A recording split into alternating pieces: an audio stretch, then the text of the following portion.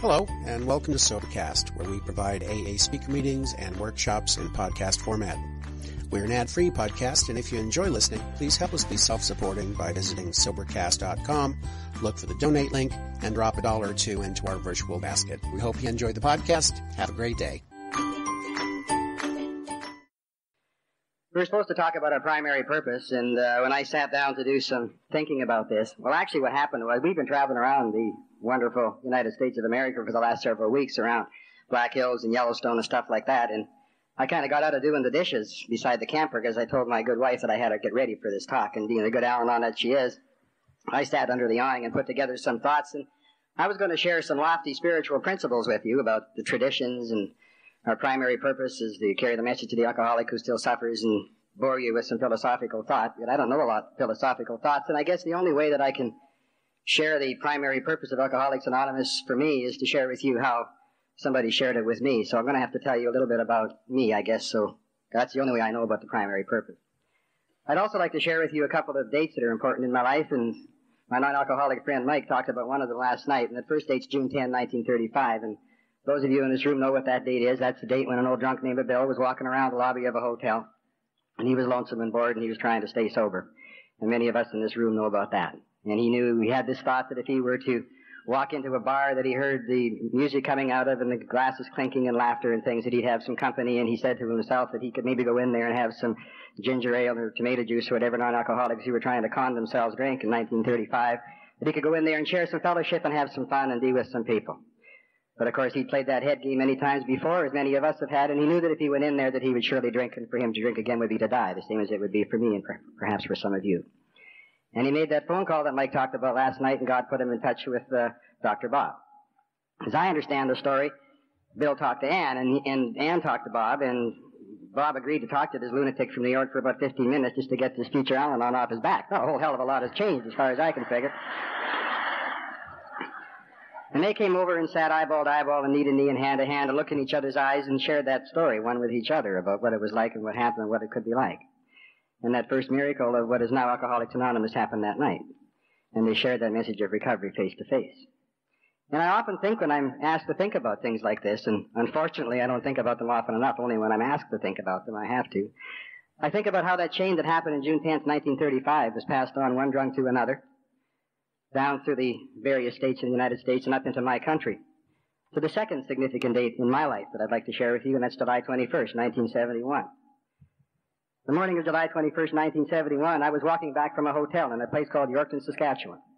The city has got about as many people in it as there's probably sitting in this arena right now. And I was not in very good shape. To show you the depths to which I had fallen, I had taken to hanging out with social drinkers in the hope that something good would happen to me.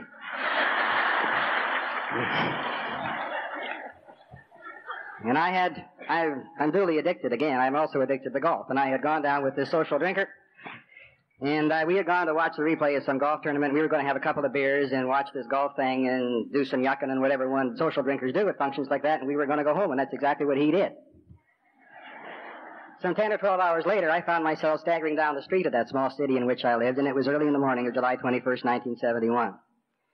And I guess you need to know that I had tried several times before to get sober in this program of Alcoholics Anonymous, and I had failed.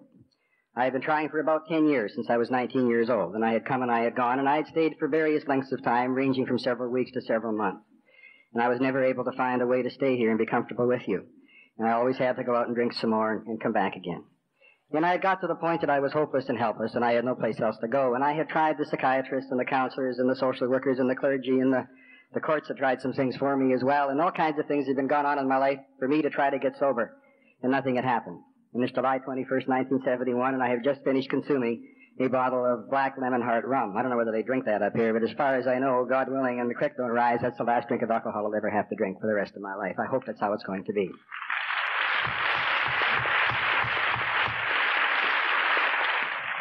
Well, I'm walking down that sunny street in Yorkton, Saskatchewan, and I've this ego problem. I don't imagine any of you have an ego problem, but I had an ego problem. It's always amazed me how a guy with puke running down the front of his suit can feel egotistical, but only alcoholics can do that. And I want to remind you again that lots of mean old buzzards in AA have talked to me, and lots of mean old counselors have talked to me, and lots of mean old clergy have talked to me, and I've never been able to get the message. But I'm walking down that day and God sent a very special person into my life and I don't know who she is, but she was about two years old, 19 years ago. Maybe a little older than that. And she had blonde hair and she was playing in the sandbox in the front of her house as I went staggering by trying to find my home. And she pointed up and said, look at the drunk to her buddy in the sandbox. And I stopped and looked. I thought, my God, this is a nice neighborhood. What would a drunk be doing over here?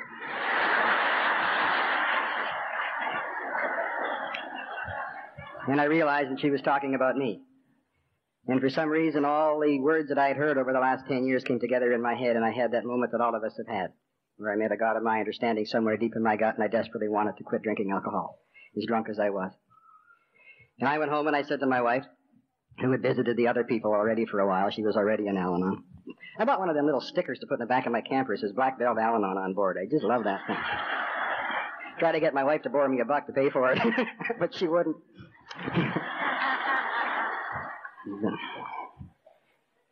And I came home and I said to her, I want to quit drinking, please phone Alcoholics Anonymous. And she was, you can imagine how thrilled she was. She'd heard this several times before.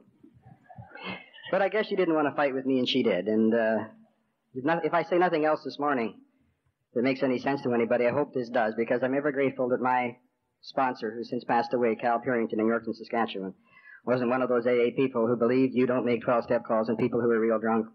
One of, it wasn't one of those people who believe that you don't make 12 step calls if the alcoholic himself doesn't call. Because if Cal had been one of those persons, I might not be sharing with you this morning because that was my moment to hear what he had to say.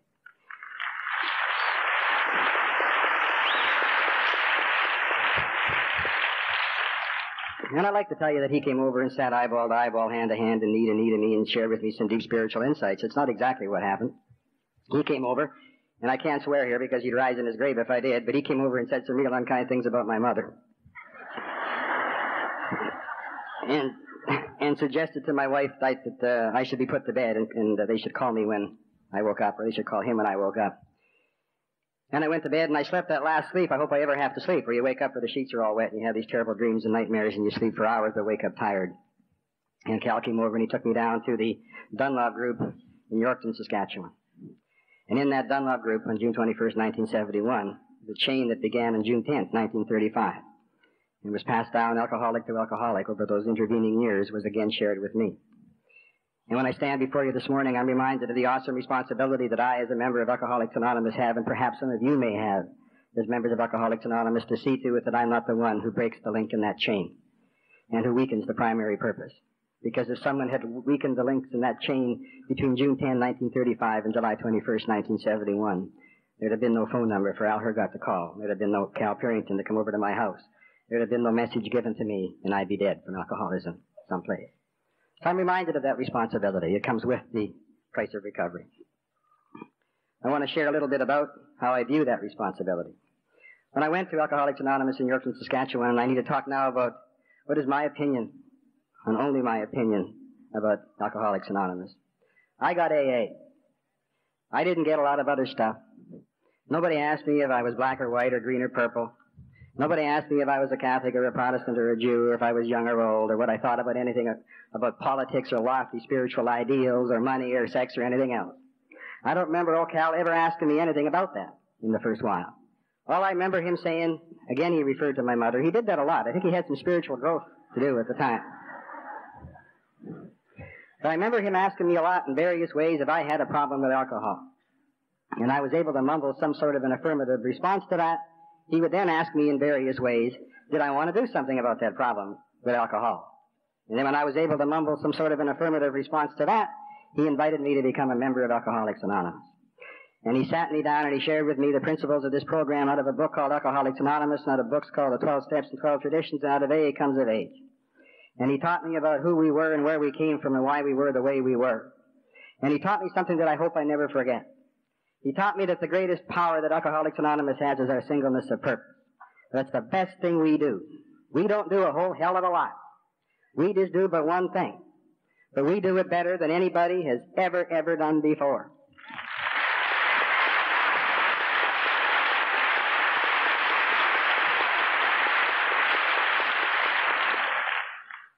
And sometimes as my hair gets grayer, those that I have left, and as I get older and the tunnel vision of old age begins to descend upon me, I look around and I sometimes wonder whether we're as concerned about our singleness of purpose as we once were. And that worries me a little bit sometimes. I know that in my heart, when folks come in who have some other issues going other than alcohol going on in their lives, my heart goes out to them because I see the pain in their eyes and the sadness that I have and that my friends in AA have. But I have to be courageous enough and resolute enough and knowledgeable enough to share with them that there is nothing that Alcoholics Anonymous can do for them except to help them stop drinking alcohol and to maybe help them go someplace else to get the help they need for their other problems. I need to do that.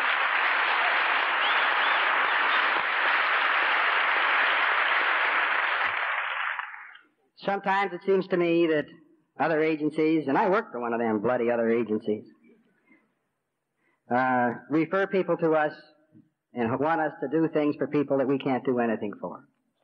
And I want to share with you that it's my view that's not their fault and that's not their problem. I think they have the right to make the best referral they can do for their client or for their patient. It's our fault and it's our problem to share with them what this program is all about. And it seems to me that if we're going to share what this program is all about, I know this is too simple for all of you geniuses, but it's not too simple for me. It makes sense to me. We got to know what the hell the program is all about so we can share with them what we are. I, th- I think we have to take the time, as my sponsor did for me, to share with me where we came from.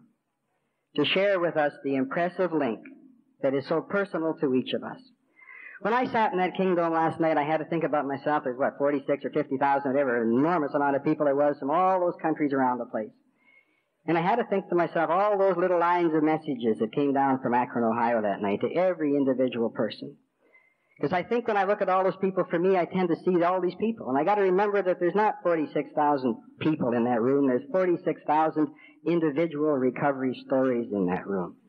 There's 46,000 ends of the chains that have come from Bill and Bob down to each of us who sit in this building today who suffer from alcoholism and have who experienced the message of recovery in Alcoholics Anonymous are each the recipient of a little line of communication that came down from Bob and Bill and those early old timers down to us. And it seems to me that while we have that recovery resting within our heart and within our heads, we also have the responsibility to pass that chain on.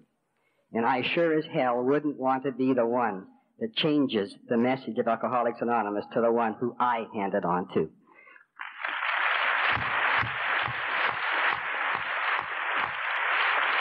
Because for me, I, again, I want to remind you, I had tried a lot of other things, and none of them had worked. And when I came to AA, I had some rights, and the one right that I had, I had the right to get Alcoholics Anonymous and nothing else. And I got that. And I'm ever grateful that the members who sat in fellowship in that group in Yorkton gave me AA. Because if I hadn't got AA, I would have died. And that's why we're called AA, and that's what we have to give people. Our 12 steps, our traditions, from our books, and from nothing else. That's it.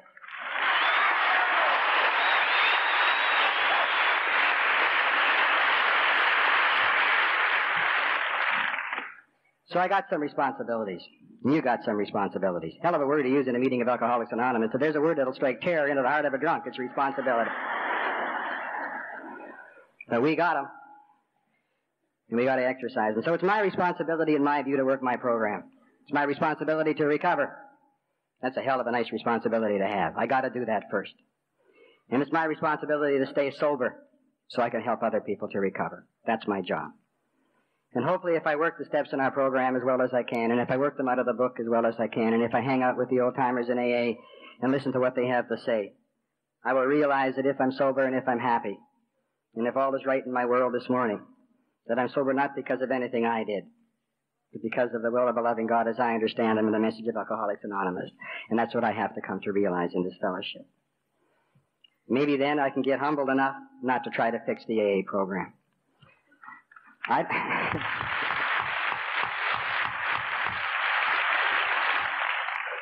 I don't know if any of you suffer from lapses of humility from time to time.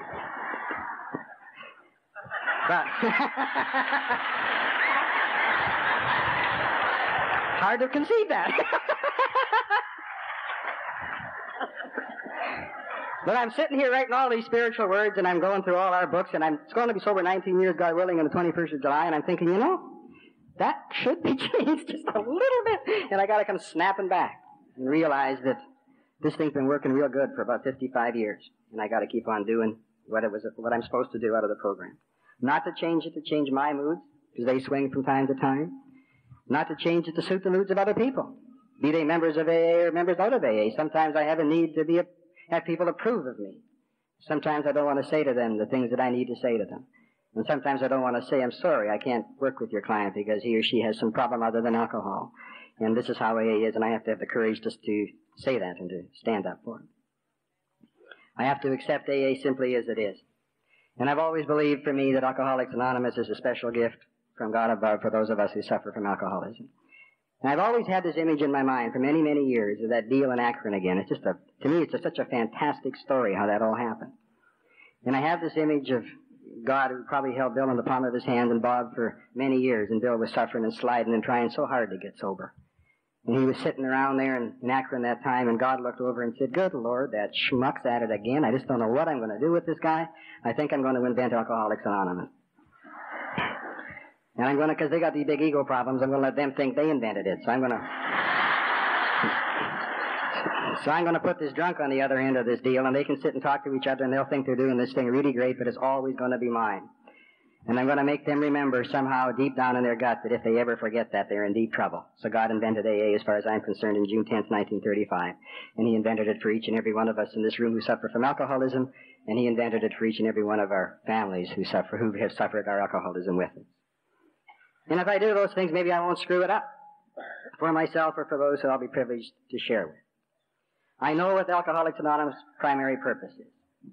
I know it because I've experienced it. And I think those of you who suffer from alcoholism know what it is because you've experienced it.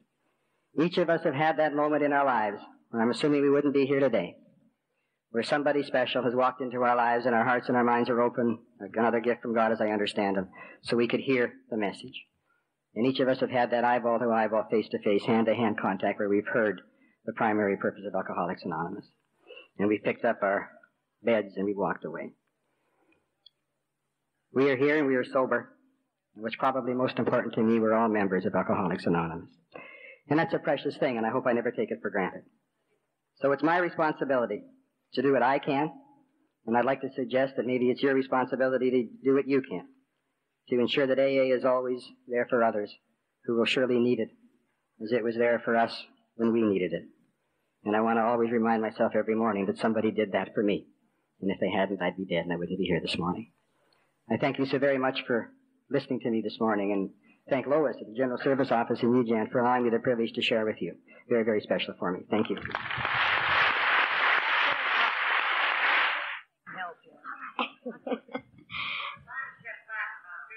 That handle. I um, now we've got the pretty part of our program this morning.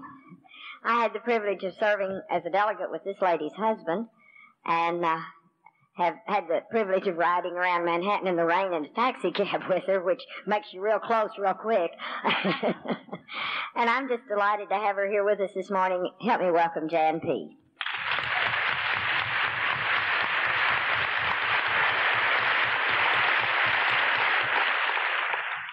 Jan, and I'm an alcoholic. And I must be very daring and courageous to share the podium with these two. Uh, but uh, that's sobriety, and uh, um, but I'm certainly grateful that I'm here this morning. And as I look out at all of you, if it were not enough to be uh, sharing this podium with these two gentlemen, um, that in itself creates real humility. But looking at all of you is indeed uh, a humbling experience. And I think back to uh, the first time I went to an AA meeting and I checked you all out to see if you were worthy of my belonging, you know. And uh, my, my, times have changed. So it's a, it's truly a glorious experience. I'm almost a local here. I'm from Spokane, Washington, which is the other side of the state. And, uh, but since I was a delegate for the Washington area, I feel I can uh, take part in welcoming you here and looking at you. And what has struck me over the past few days is how nice we are to each other, and how civil, and how loving, and how generous. With all of you, it's really uh, very exciting. I got sober in uh, Tucson, Arizona, January 31st, 1966. Um, It was January 31st, and my Christmas tree was still up, which tells you why my life was unmanageable. Um, And as I look out at the women in this audience, I'm, I'm not speaking specifically to you, but I hope you can understand that I know what it's like to be a lady lush, an alky broad, uh, whatever term they wanted to use about us. We knew it was plain hard work. Uh, there's nothing that hard in life uh, as trying to act put together and sophisticated and uh, working and holding down a job and then looking in the back of the sofa cushions to see if you have enough money to buy a half pint. You know, it's very difficult. And uh, so anything that's happened to me since I got sober has been easy compared with the life of a practicing alcoholic woman. And so, uh, to all of you, and you look so gorgeous today. And I spent my first uh, six months on the program checking out what you were wearing and, you know, looking at you and being envious. I was the kind of woman that they said, uh, Jan knows the price of everything and the value of nothing. And they were right. It hurt, but they were right. So since that time, I've learned the value of many things. And when Jan was introducing me, she talked about sharing uh, as her experience in New York with my husband, Fran, who uh, is a grapevine director uh, we got sober the same day, 24 years ago. He was the one who called AA. As far as I was concerned, it was about the worst thing he had ever done in all our years of marriage. We had been married for 12 years. I thought we had an idyllic marriage. Um, we had not drawn a, drawn a sober breath together in 12 years of that marriage. Uh, we were so um, in tune with each other. At that time, I was working at the library and I often think about uh, I would bring home issues of the National Geographic, and he would sit in one chair, and I would sit in another chair, and we would drink, and we would look at those pictures, and we would lie to each other about all the places we were going to go and all the things we were going to do. And you know, you think your drinking is perhaps exciting. Ours was so choreographed. I mean, we used the same glass, and we did all the same things night after night after night.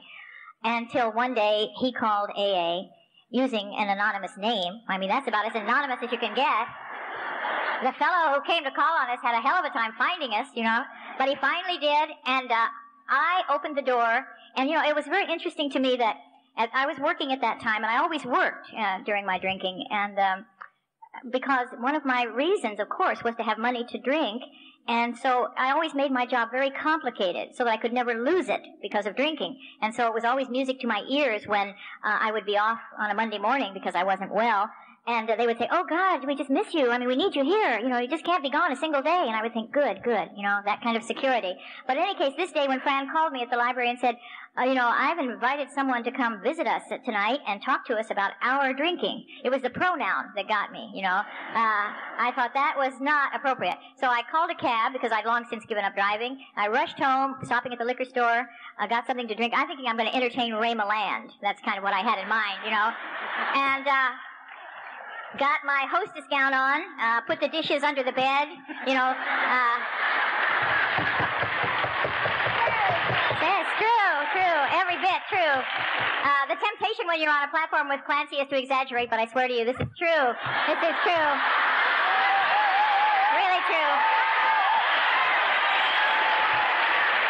Absolutely true. One thing I learned in AA that uh, I can't afford to uh, to be, uh, you know, glib uh, because I could always do that. I could always talk and I could never stay sober. But in any case, when I opened the door of our little adobe house there in Tucson, and the man who was to be our sponsor to change our lives often said he took one look at me and thought, good, two for the price of one. Know? uh, it was just, and that's been the story of my life. Um, that had Fran not called AA, I seriously doubt I would have found the humility, nor the courage, nor the honesty to do it then. So I'm grateful that he did that for me, and I'm grateful for the kind of sobriety that he has lived uh, in our marriage. And so since then, uh, life has been just as you know what it's like. I mean, it is so different, and uh, we are still married, um, and we have adopted two children who are now grown up, and uh, we've gone on to have the kind of life that we always uh, put down when drinking because we knew we couldn't have it. Is somebody floating? aside from me. Uh, so when we came to uh, the state of Washington, we had been sober uh, six months.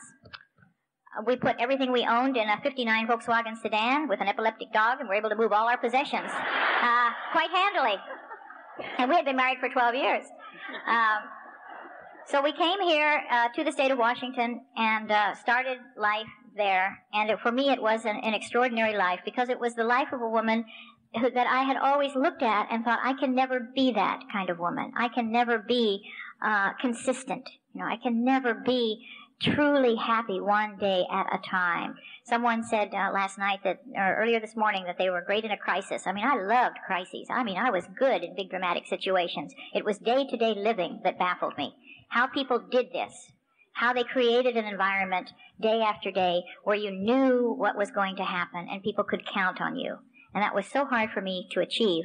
And uh, I always used to think that if only, if only, you know, if only this, if only this, then I would be happy. The truth was that I would never be happy because I had I had lost my sense of direction. Um, I, I always looked around at other people and thought, how do they do that? How do they manage somehow to be the same? They know that you can count on them, and that's what I wanted, but I didn't know how to achieve it. Now, when I came to the program, uh, service was not mentioned as an option. It was mentioned as what you do to stay sober and to guarantee your sobriety. And uh,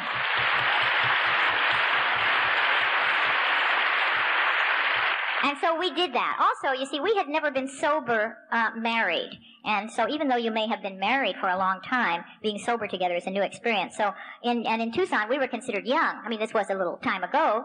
And so we would go to meetings early and set up. And then we would stay late and help clean up. And of course, people say, aren't they cute? Aren't they nice? And they, here they are, you know, getting sober together, doing all these things. The truth was, we just didn't have any life outside. We just were so terrified of each other. I mean, I'm sure at one point we looked at each other like, have we really been married for 12 years? I mean, this is incredible. You know, but it was always one of those things whenever I was ready to call it off, he was drunk and talked me out of it whenever I was ready and he was. So, so we just sort of by attrition kept going. And then we were sober together and then it was, how do you do this? How do you create a marriage? Uh, based on principles of love and respect and trust. And uh, I love the buttons that we're seeing now which say it's a family affair because in truth, this weekend for me is a family affair. I have a younger brother in Nevada who's been sober over 20 years. I have a sister-in-law from Nevada who's been sober uh, five years. I have a young niece who spoke this morning uh, who is sober and she moved me so deeply this morning because she talked in such a knowledgeable and loving way about the traditions. And I thought, isn't this extraordinary that, that we're all here together? And I have another wonderful sister who baffles us all because she is indifferent to alcohol alcohol. I mean, this is truly a phenomenon I don't understand. I mean, uh, she's not even socially drink. She's the kind who gets a drink and just lets it sit there. And I'm just fascinated. I mean, how anyone could do that, could be indifferent to a glass of alcohol in front of you for a period of time and the ice cubes melt and it gets watered down and finally say, aren't you going to drink that? I mean, do something. And so, uh, that kind of, uh, indifference to this has always baffled me, and I knew that I could never have that. You know, I never wanted that. I always wanted total oblivion, you know, and that's what I sought. And so uh, I achieved that for a long time. But then I found sobriety, and I found AA, and I found service, and I found all of you, and I found a loving acceptance that I never dreamed possible. And so I continued on and my children grew up and uh, my husband completed his career goal and things just started happening in our lives and we bought a house and we bought a lawnmower. I mean that was very symbolic you know, in our neighborhood, that was a, a true status symbol that you had a lawnmower and you had grass and you mowed it, you know, and, and you were just part of the whole group. And I was a PTA and I made cookies and I was the room mother. I was a campfire leader for 12 years. You know, how consistent can you get? And, uh, so all of those things happened in my life and they were all part of AA. So they come back to the primary purpose. My primary purpose was to stay sober. And I took that to mean sober in the fullest sense of the word not merely dry, but sober in the sense of spiritually, emotionally sober, uh, able to deal with life on a daily basis. And then it says to carry this message to the alcoholic who still suffers, to pass it on. And in service, I, I was able to do that in starting groups. And my husband teased me once that um, I started a group of women in my neighborhood, and he says, God, you're just cloning yourself. I mean, they, you know, all these women. I said, but that's because all these women feel safe to come to this meeting. And in time, then they will leave this meeting. They'll go on to other meetings. And that's indeed what has happened. And uh, the, age gets younger, and uh, the women get smarter, and they come earlier. They don't all have to go as far down as we did.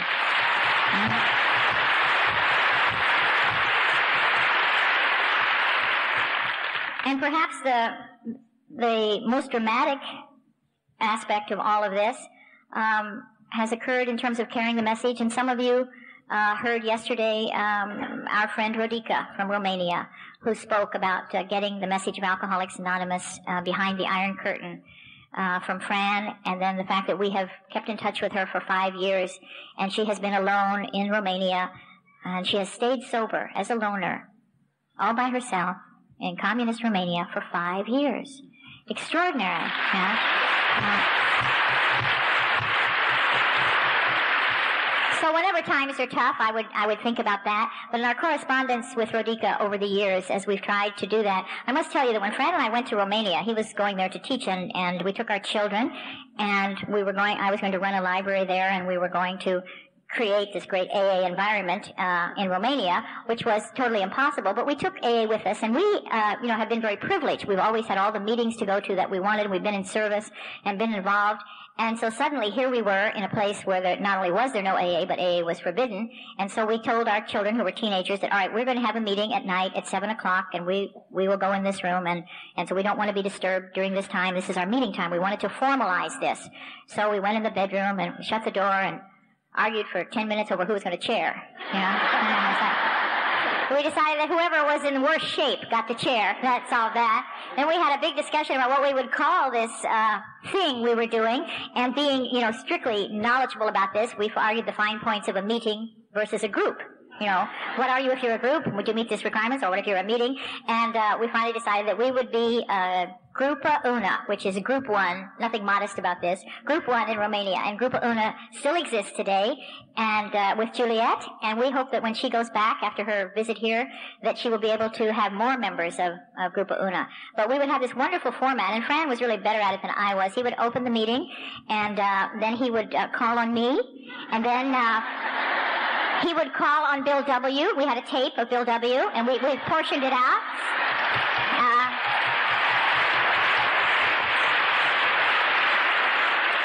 and then he would ask if there were any announcements for the good of the fellowship.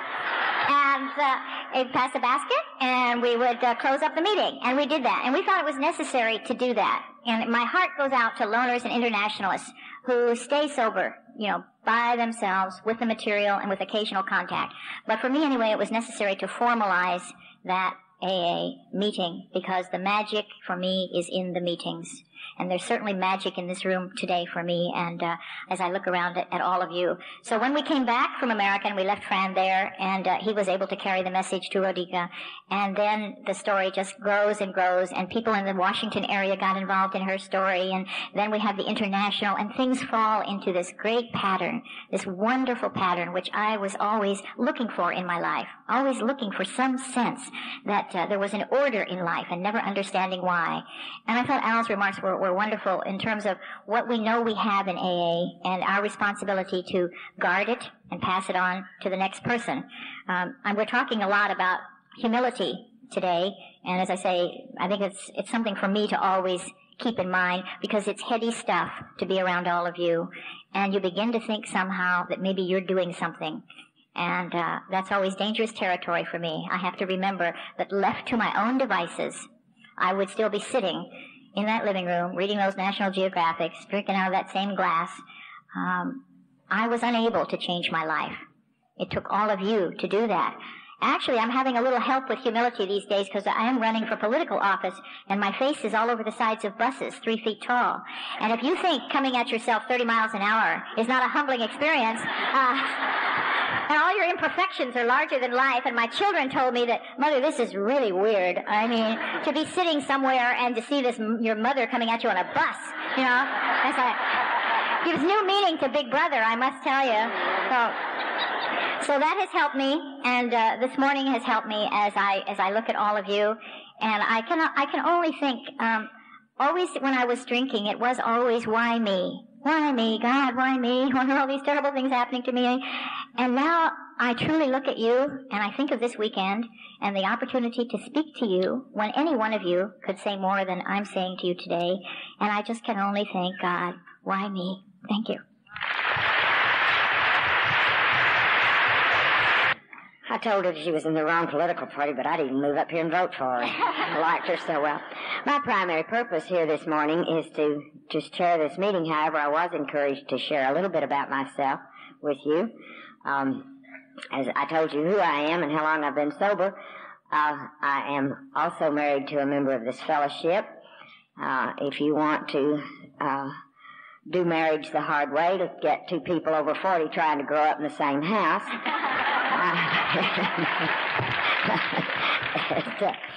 I'm obviously the baby of this group, sobriety-wise, people up here. Uh, I am currently serving as a Southwest Regional Trustee, Class B. I've been asked a lot about that, and I give them the same answer that was given to me, that it Class A's are non-alcoholic and Class B's are alcoholic, and it has nothing to do with your intrinsic worth. it has strictly to do with the laws of incorporation in the state of New York. I choose to view it as rank discrimination.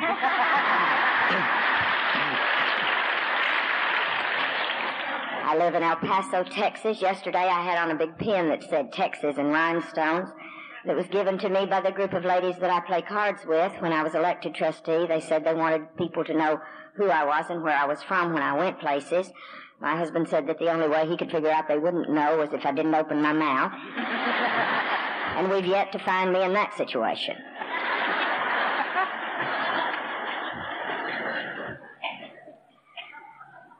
Well, we've talked a lot.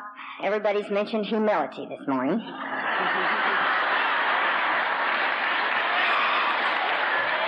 and um, it gives me great pleasure to bring to you Mr. Humility himself, Clancy I.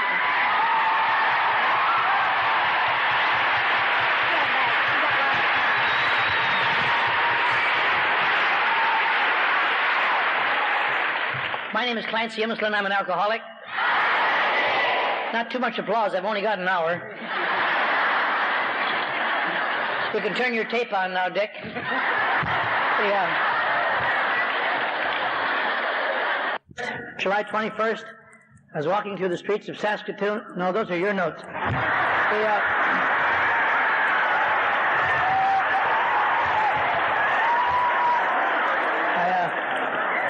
I'm sorry, I don't know why I talk. I would like to say really seriously that the two talks we've just heard, I think, are the two best talks I've heard in this convention.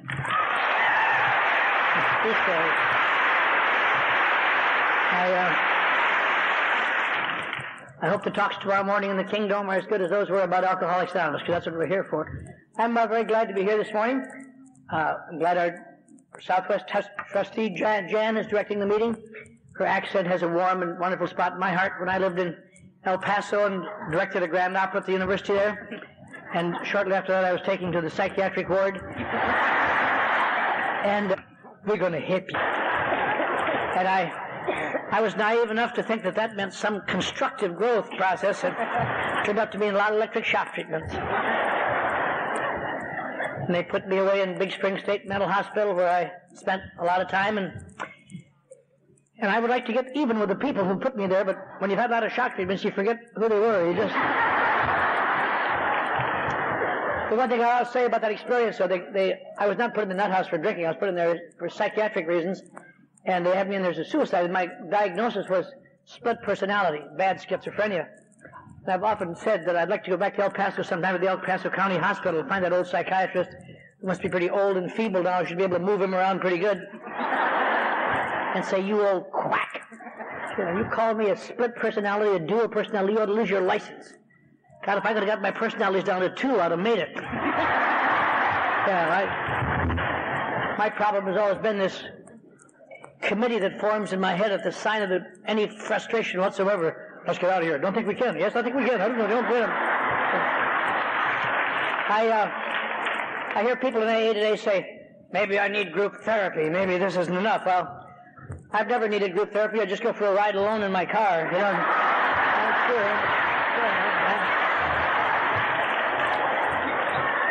But we are here this morning to discuss what I think is probably the most, in my opinion, the most important single aspect of recovery, which is the primary purpose.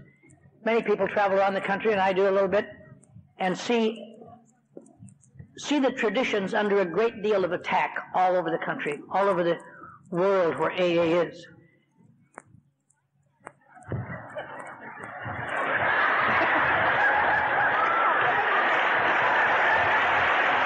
Well, now I've lost my place and have to start over again. My name is Clancy. I'm Anyway.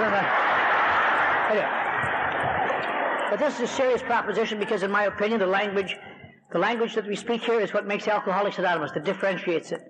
The, uh, we sometimes forget what a, what a fragile gift this was, as mentioned last night at the Kingdome, that there were ten calls made. The tenth call is the one that got through. And I've stood in the Mayflower Hotel in Akron years ago and tried to visualize what it must have been like. He wasn't just lonely and frustrated. The deal he came out to Akron on, he had just blown. He didn't have enough money to get train fare back to New York. He was wiped out, and he stood in the lobby of this Mayflower Hotel, and over there, there's a door that says cocktails in little red neon sign, cheap little neon sign, and he started to walk in there, as he said later, and over here on the wall are some telephones, but he promised his friends in New York he'd go over and make a call, so he called and got hung up on and rejected several times and treated like a piece of junk. And I'll tell you, most people like me, and I presume like many of you, would have said, I did the best I could. I did the best I could. I will just have a couple drinks while I decide what to do next. And uh, it's funny, but it isn't funny. That's a fragile, thin line, boy. We wouldn't be here at all with a fragile, thin line of Rowland accidentally bumping into Ebby in Vermont in the only two-week period that he ever was there. That well, Ebby wasn't there, or the fragile experience of Ebby having to testify to the Oxford movement and happening to remember that he had his old friend Bill Wilson in that city. A series of fragile, very fragile threads. And so finally, on that tenth call or whatever it was, got a hold of this somebody who was going to put him in touch with this drunken doctor who he could see the next day. And here it was, a Saturday afternoon, and he was hot, about ten bucks in his pocket, desperate, afraid, lonely, nobody cares. I'll tell you, I would have, I'm, I, I don't know what I'd have done, but I suspect I would have run. I would have run, and I suspect most of you would have run. And this, this would have just been a fantasy in somebody's mind, this meeting today or this convention or anything that deals with our recovery. But somehow they got this fragile thing together. And he went out and talked to this drunken doctor, as we know. And the man that drove the drunken doctor there was on the stage last night. Uh, young Bob. Now he's old, but he was young Bob then. But uh, I've talked to him about that. He, he's the only surviving member of the, that whole group that watched them meet. And uh, later, when Bill moved into their house, which was kind of a lucky break for Bill, he didn't have train fare to go anywhere else. But I said to Bob, you know, I said, that must have been what a great moment for you. This, you were present at the beginning of one of the greatest spiritual movements of all time, certainly in the century, and you were there. It must have been exhilarating. And he said, no, no, it wasn't. He said, I thought it was kind of crappy. he was 16 years old. He said, my dad was sober, but he was sober a lot anyway. He was a periodic. And this guy from New York was a nice guy, a little intense for my tastes. And he said, you can never bring anybody home after school. There's always somebody on the sofa smelling like formaldehyde while they hovered over him, or somebody crawling down the rain spout to get away from these fanatics. But of course, God moves slowly but surely to punish heresy. Young Bob never drank. He grew up and married an alcoholic and is now an Al Anon.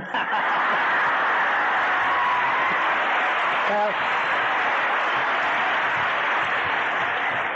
I suspect Bob, God overreacted. uh, but I was with Bob and his charming wife last Saturday night in Wichita Falls, Texas, and we laughed about this, and it's a, it's always a touching story to me. But what, what was the big deal? I mean, you hear about, so here's Bill Wilson and Dr. Bob stay sober a couple of weeks. They sit around and discuss spiritual matters, Oxford Group spirituality matters. And pretty soon, Dr. Bob is drunk again on a train. And pretty soon he's sobered up again. In fact, his sponsor bought him his last drink to steady his hand so he could do the surgery he had to do that morning. I told my sponsor about that story years later, and he, uh, he says, I don't think they're going to do any surgery. Sweat it out. He, uh,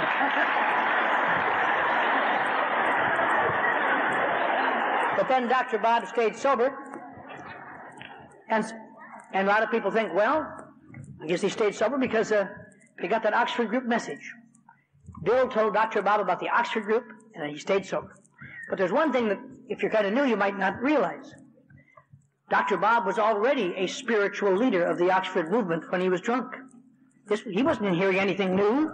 He heard nothing new at all. Just that somebody else was sober. As he wrote later and said later, what, could, what impressed him about Bill Wilson was that he, Bill Wilson, sounded as though he knew how he, Dr. Bob, felt. They had, he felt a communication, one had the feelings about drinking that he had, and he was staggered by it. And they realized sitting around discussing spiritual matters didn't keep anybody sober. It hadn't kept Bill sober in New York. He'd been picking guys off bar stools, none of whom stayed sober, but Bill did. And so they went up and got this Bill D in the hospital.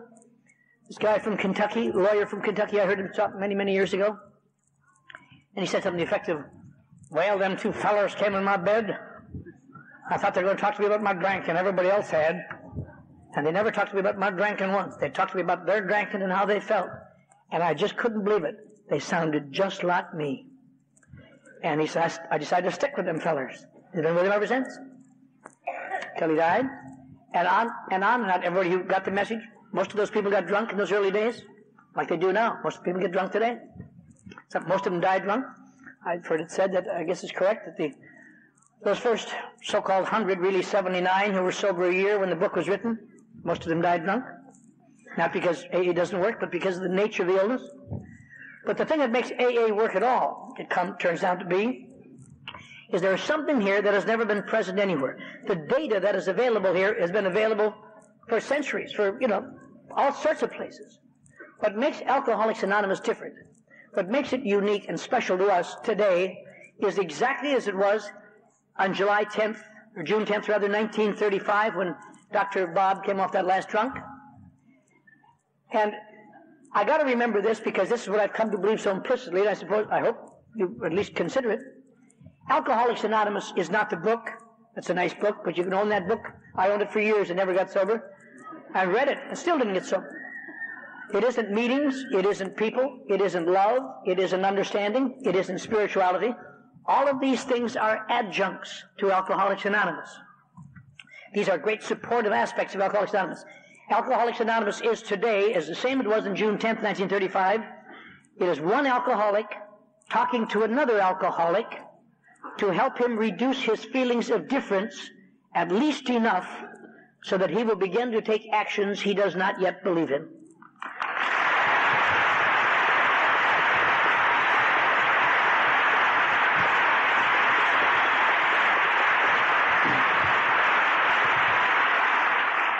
And that really is what's lost when we attempt to carry the message of Alcoholics Anonymous to people who are not alcoholics. There's nothing wrong with that. I mean, there's just. But the num- to me, one of the great problems of all alcoholics, if you are like me, it's one of your great problems, and it has been all your life. A deep-seated feeling of yes, but my case really is different. It's different in AA and it's different out of AA, and they mean well when they're trying to help me, but they don't really understand. And that's what kills people. Monday, you know, I go to work in the morning and I step over bodies dying outside my office. And you would think that I should be able to help them, but they are immersed, they are beyond help in their immersion in yes, but my case is different.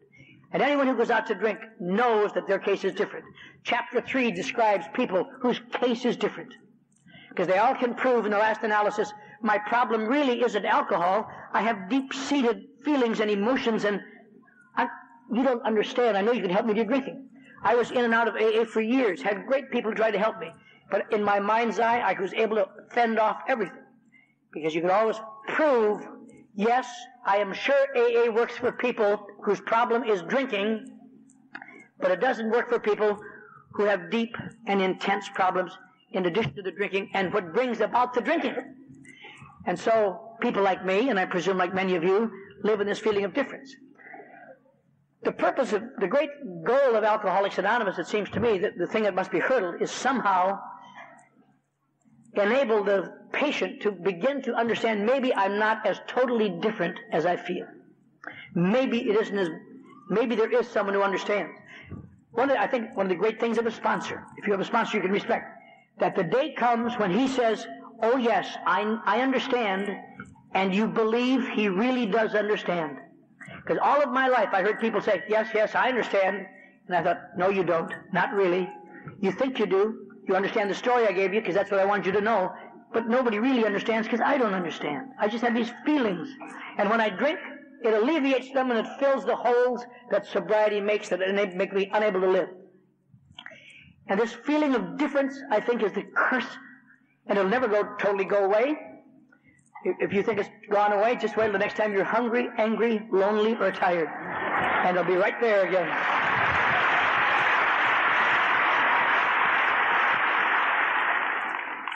And we all have days where things aren't working out, and the signal comes again.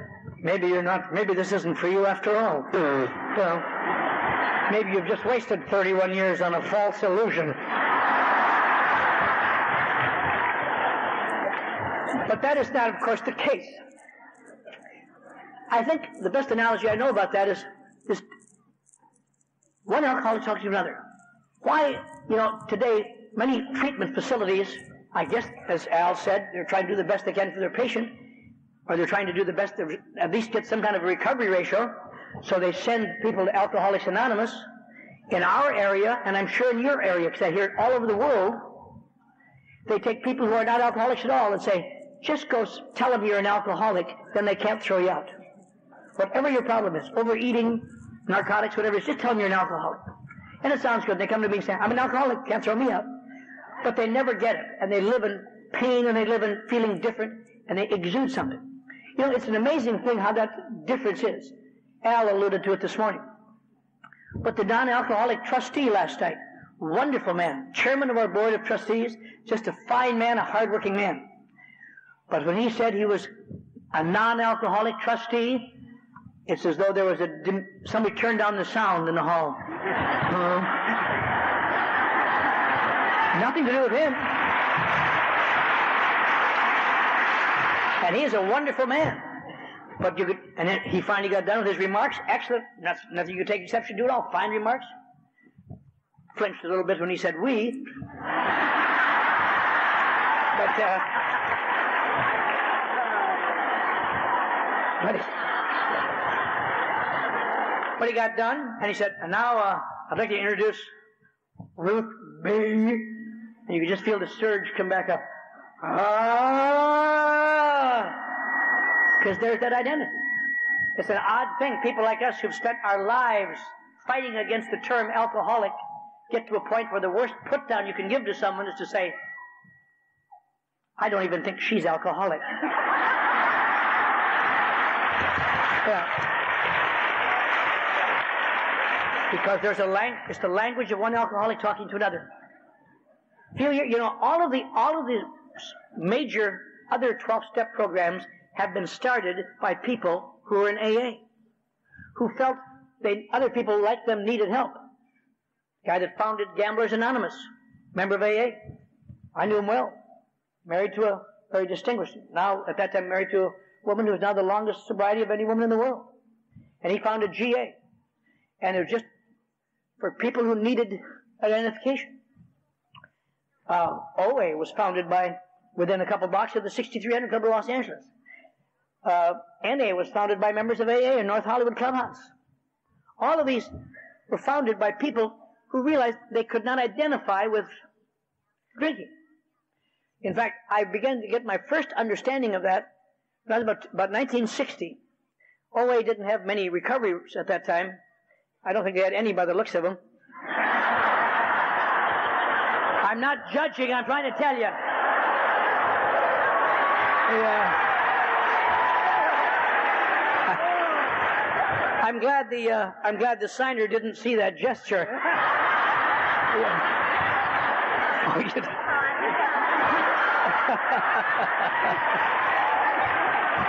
But anyway, but they asked AA members to come over and talk at the first meetings of OA. I was over and talked to them. And you know, I was skinny then and didn't have any friends. I went over and talked to these about a couple of years sober, and they had I talked to maybe their third or fourth meeting, and then for several. But they're kind of plump ladies sitting around a room, and uh, I talked. They asked me to talk about obsessions because they seem to feel I was an authority on that. not the, not the recovery from obsessions, just obsessions. And uh, I talked at this OA meeting, and I sat down, and I thought, I think that really helped. And then they talked. And I was appalled. I never heard of anything like that. I mean, this woman said, and then I, I ate this whole chicken, and I, I ate a cake, and I thought to myself, you sick puke. Yeah. yeah. And some woman, some woman said, I ate till I couldn't eat anymore. I went and put my finger down my throat and made room for more food. And I thought, boy, you ought to be in the nut house, you know. I can understand doing that drinking, but eating? Yeah. Why don't you just eat like a man?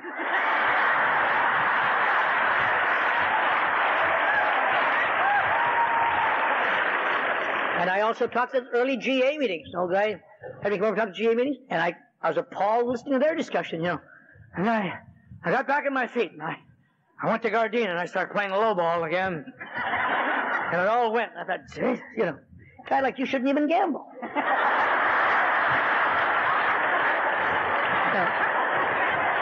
But I'm going to tell you something. I was there talking about obsessions to people that I intellectually understood their problem. But I could have sat till next Christmas and I would never have identified with the nature of their relief because it doesn't do that to me. That's why we have alcoholic to alcoholics.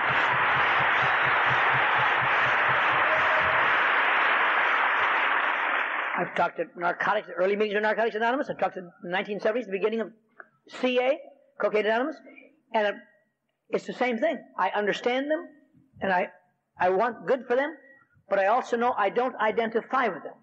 Because the same way that I expect non-alcoholics to, don't you understand why I'm doing this? They don't understand. Because there's that old thing we've said before. The difference between non-alcoholics and me has a number of things, but it boils down to one thing. When they drink alcohol, it goes and they say, no more for me, I'm starting to feel it. and when I drink alcohol, it doesn't go it goes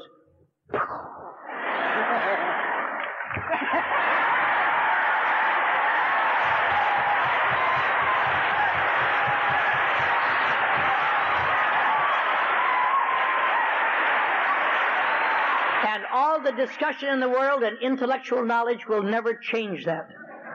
That is why you cannot have mixed meetings. That's why, really, Alcoholics Anonymous meetings require, in my opinion only, alcoholics to talk at Alcoholics Anonymous meetings.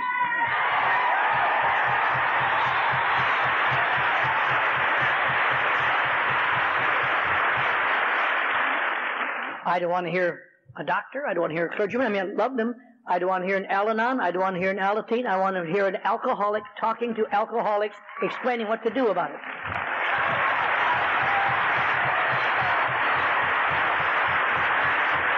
Because that is our primary purpose, to carry the message to the people who still suffer.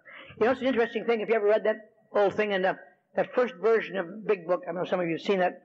I think the 12th step, if I recall, that's the way Bill originally wrote it, because he was a great, you know, he wanted to help all mankind. And 12 step, having had spiritual steps, we try to carry this message to other people, he said. To, I guess to the world. And somebody, when they talked it over, and Dr. Bob and the people around at that time, they changed that to uh, alcoholics. Somehow they had intuitive feeling.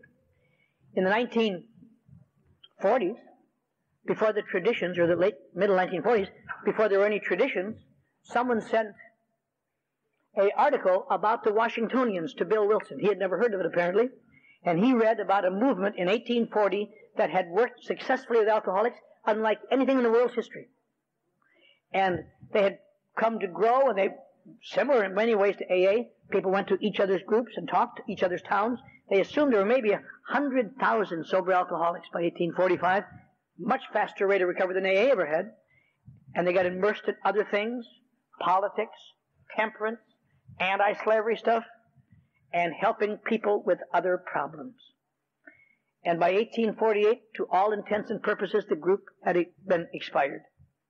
There were few people left. But uh, why was that? Abraham Lincoln addressed the Washingtonians in 1846 about slavery movement. And that's really was the germ of the 12 traditions.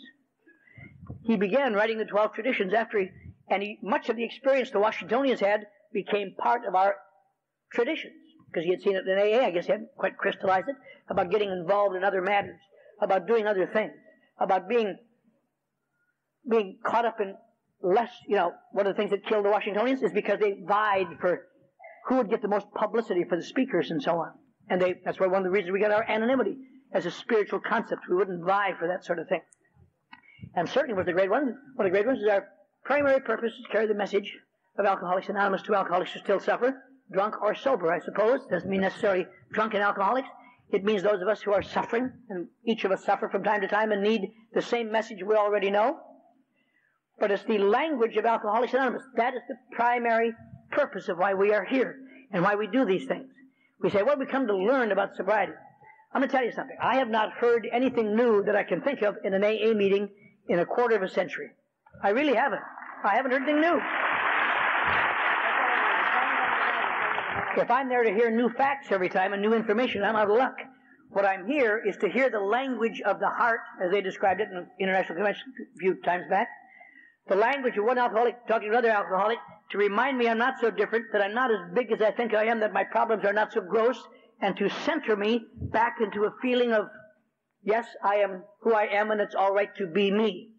Now, in order to bring this about, we must have Alcoholics Anonymous, I suppose, Al has said, and Jan has said, and I'm sure we, most of us believe.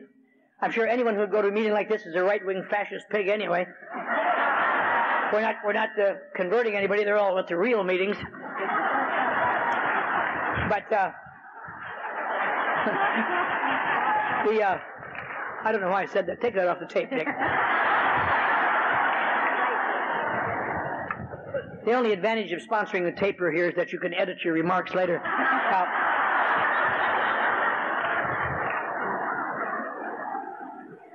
but that's what we do here. We gather together, share our experience, strength those ones to help us reduce our feelings of difference. And we will never completely reduce them, and they will always be there, and we will always face conflicts in our lives that'll bring them back to varying degrees. But there's something to do about it. And that's why it is terribly, terribly dangerous, in my opinion, to have people who do not carry this message. As much as we love them or need them, I sit in meetings sometimes, places now, and I hear a guy get up and talk about narcotics for 55 minutes, and he talks about the steps, he talks about purity, but I really haven't identified with him anything. I've identified with some of the things he does, but I think about the newcomer. The newcomer does not identify with that. I would identify with that. What finally enabled me to identify with it is that a man finally convinced me that he knew how I felt, and on that basis I began to take actions I would never have taken for anybody else. And I know the language is comes this way. Don't, this is the applause signal, you dummy. That. God damn it. I'll tell you a good example. Why, I have three daughters at this convention. They're in this hall tonight. One got his first birthday about three weeks ago. One got her first birthday about a week ago. One's having her first birthday in a couple days. Now, no, no, don't. They have done nothing worthy of your applause. That's not the point I'm making. The point I'm making is I've sponsored a lot of people over the years. Maybe they haven't turned out well, but I've sponsored them. And I travel around a lot, and I know a lot about AA, and I'm a repository of great wisdom, I think. And I, uh, I know nuances of the psyche that would stagger Dr. Jung. And I talk to my three daughters, and I say, boy, are they lucky they got a father who knows AA in and out. And I say, now here's what you do in this situation. And they say, we don't want to hear it, Dad. Because I'm not an AA to them. I'm their dad. And nobody listens to dads. I don't think that's right, Dad. I'm going to call my sponsor. She's got three years.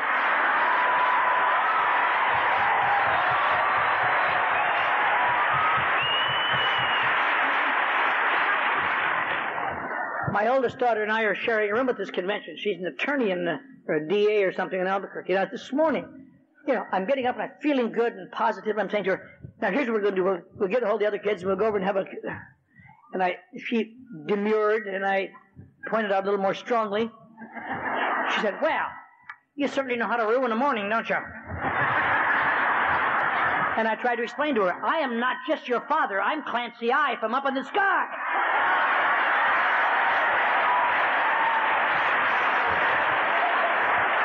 That's a perfect example.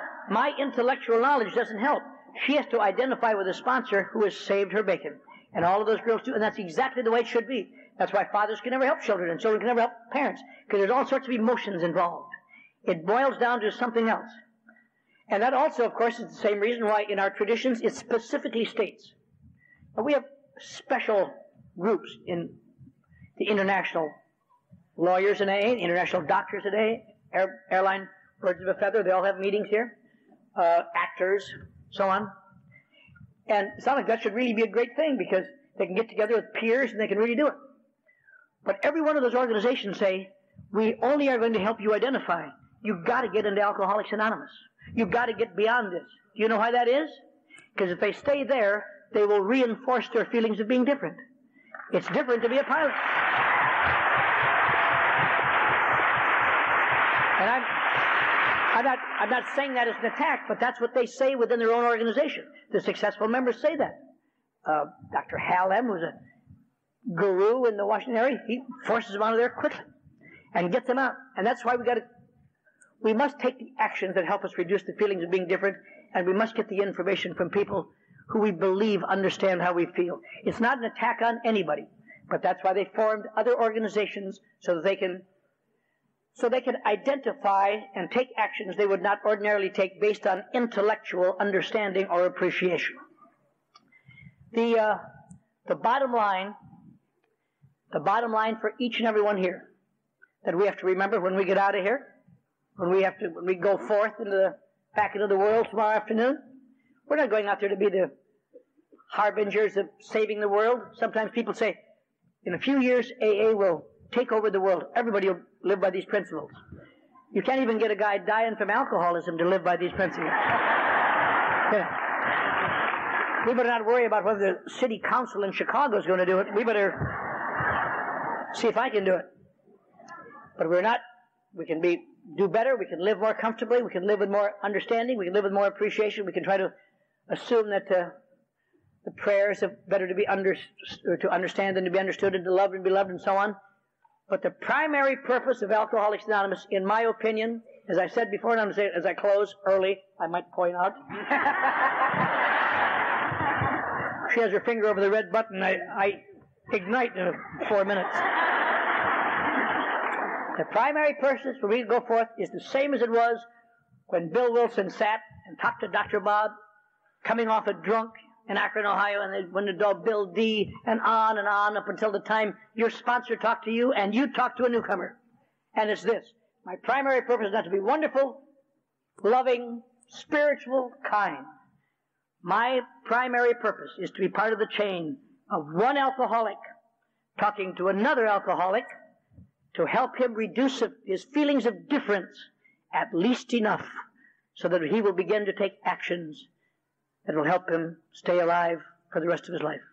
I am most pleased to be part of that chain. I'm pleased you're part of that chain. I'm pleased to be part of this international convention. First convention I went to, the speaker I heard was Bill Wilson and Ebby. And that turned me around, and today I feel the same feeling. I feel love and enthusiasm and zeal to get out there and try it again, and I hope you do too. Thank you.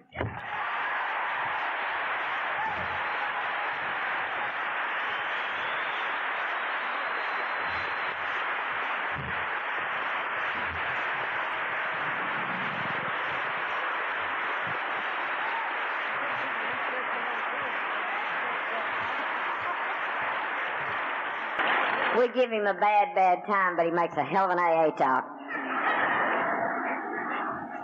I can't tell you how much I appreciate all three of our speakers this morning.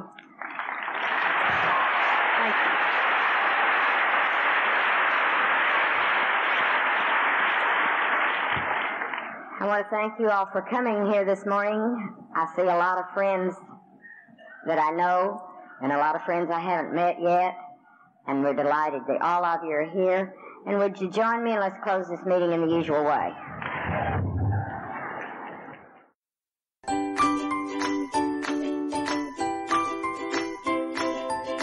Thanks for listening. I hope you enjoyed the podcast. Sobercast is ad free, and we'd like your help in order to keep it that way.